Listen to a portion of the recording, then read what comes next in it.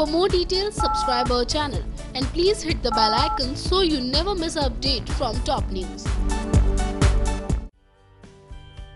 Colors TV के most popular show और साथ ही थ्रिलर में नंबर वन बन चुका ये सीरियल यानी कि बेपनाह के आगे आने वाले एपिसोड्स में आपको एक बार फिर से कुछ बहुत ही बड़े शॉकिंग खुलासे होते हुए दिखाई दे सकते हैं जी हाँ आपको बता देते हैं कि आगे आने वाला एपिसोड दरअसल बहुत सारे ट्विस्ट एंड टर्न्स लेकर आने वाला है आप सभी के लिए क्योंकि भाई जिस तरह से जोया को आए दिन यश और पूजा के रिश्ते के बारे में कुछ ना कुछ नया पता चल रहा है तो उसके बाद एक और सच ऐसा है जो बहुत ही जल्द पता चलेगा और जिसके बाद जोया की ज़िंदगी एक बार फिर से पलट जाएगी।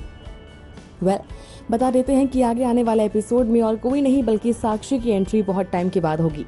इतना ही नहीं आपको ये भी बता देते हैं कि साक्षी की ये एंट्री इस बार ये सब कुछ क्लियर करने के लिए होगी जो कुछ भी जोया और आदित्य के बीच में कड़वाहटों की वजह बन रहा है। जी हाँ आपको बता देते हैं कि आगे आने वाले एपिसोड में साक्षी खुलासा करती हुई नज़र आएगी कि दरअसल पूजा के पेट में जो बच्चा था वो यश का नहीं, बल्कि आदित्य का था। साथ ही साथ आपको ये भी देखने को मिल सकता है कि कैसे वो आदित्य को पूजा की उस रात के बारे में भी याद दिलाएगी, जिस रात ऐसा कुछ हुआ होता है।